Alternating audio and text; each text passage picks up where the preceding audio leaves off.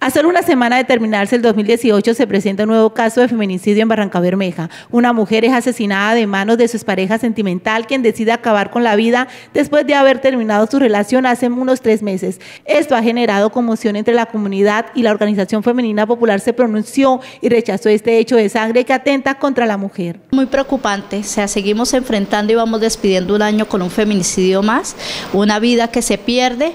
Eh, es muy triste sobre todo sabiendo que quedan tres menores, tres menores que quedan desamparados de su madre y, y que es la connotación de lo que se viene dando, ¿no? Entonces el llamado es a las autoridades a ver cómo se sigue trabajando y se avanza en esto de prevenir los feminicidios. Reitero nuevamente el llamado a la autoridad competente para que se tenga en cuenta cada una de las denuncias que llegan por maltrato intrafamiliar y brindar las garantías de protección que necesitan las víctimas.